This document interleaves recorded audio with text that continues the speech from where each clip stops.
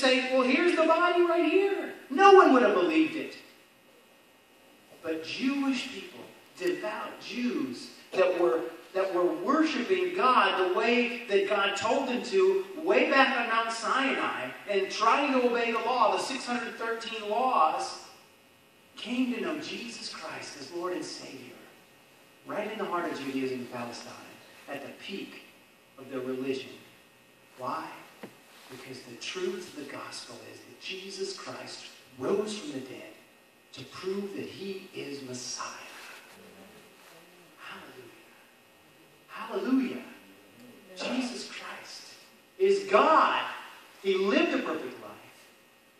He shed his own blood voluntarily for you and I to atone for our sin and to satisfy the wrath of God.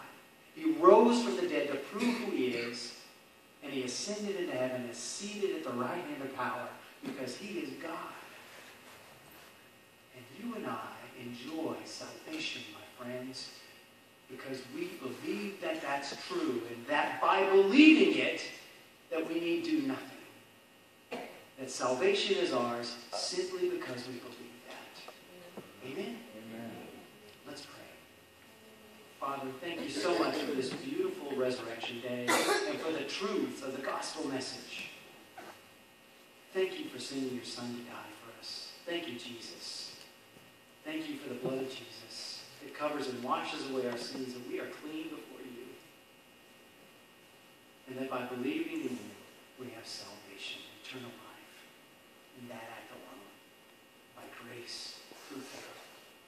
Father, fill us with your Spirit so we can act accordingly, and so that we can go out in the community and make disciples as you called us to do, and to be a light in a dark place. Fill us with your Spirit so we can accomplish your purposes. We pray all these things in the precious name of your Son, Jesus. Amen. We come now to a time of invitation. And if you have never